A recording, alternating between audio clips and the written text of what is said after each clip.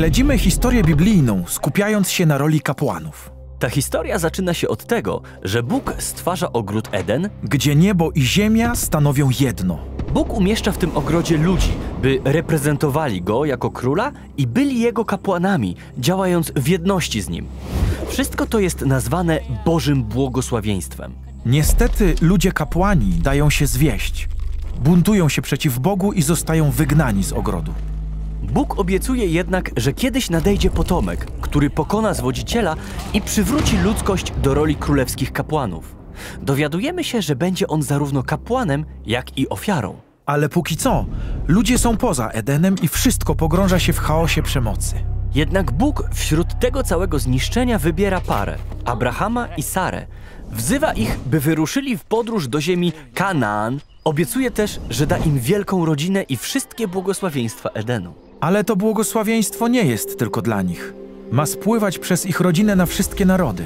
To znaczy, że rodzina Abrahama staje się jakby kapłaństwem. Abraham jest tym królewskim kapłanem, na którego czekamy? No więc nie, ale Abraham spotyka tajemniczą postać, która przypomina obiecanego królewskiego kapłana.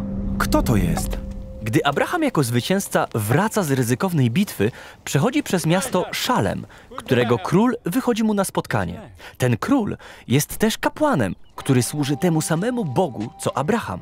A, tak, Melchizedek. To tajemniczy człowiek. Nie wiemy, dlaczego czci Boga Abrahama. Nie znamy też jego rodowodu. Zgadza się.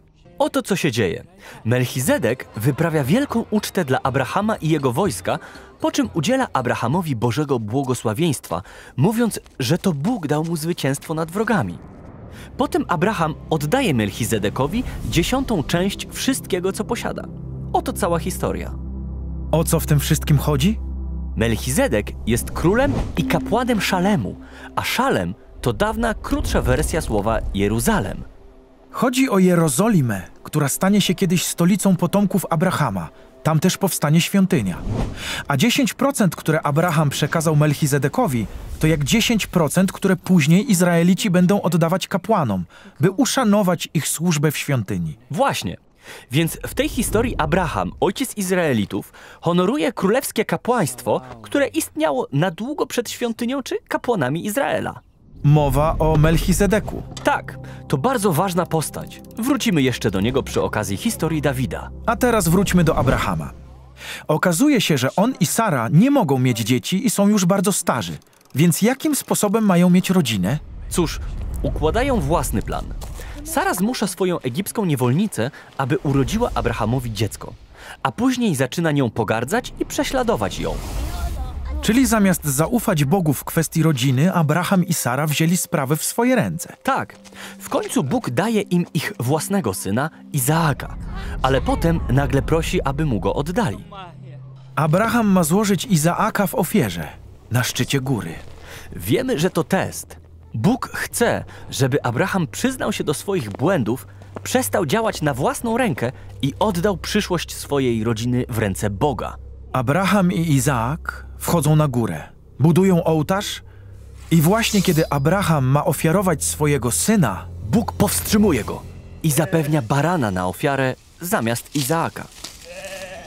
Tutaj narrator zatrzymuje się i zwraca się do nas, czytelników, mówiąc: Dlatego do dzisiaj mówi się, na górze Pana jest zaopatrzenie. góra Pana.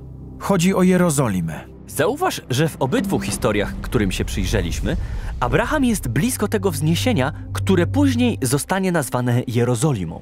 W pierwszej historii Abraham spotyka królewskiego kapłana, a w drugiej Bóg zapewnia zastępczą ofiarę, która zakrywa grzechy rodziny Abrahama. Tak, i obie te historie wskazują na potrzebę przyjścia przyszłego królewskiego kapłana, który stanie się też ofiarą za grzechy Abrahama i jego rodziny. Odtąd rodzina Abrahama rośnie, aż staje się narodem, później jednak trafia do niewoli w Egipcie. Jak z narodu niewolników ma wyjść królewski kapłan? Dobre pytanie.